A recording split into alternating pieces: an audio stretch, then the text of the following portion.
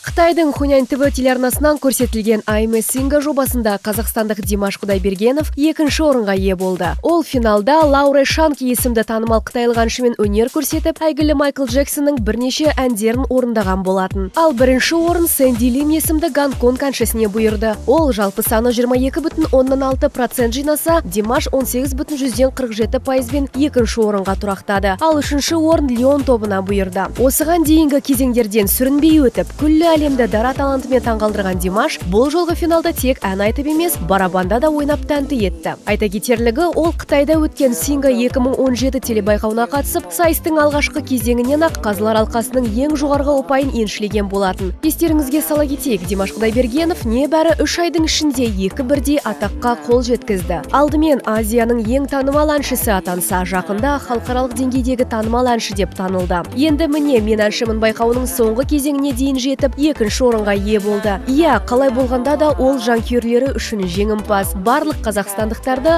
осы жеңіспен біз де шын жүректен құттықтаймыз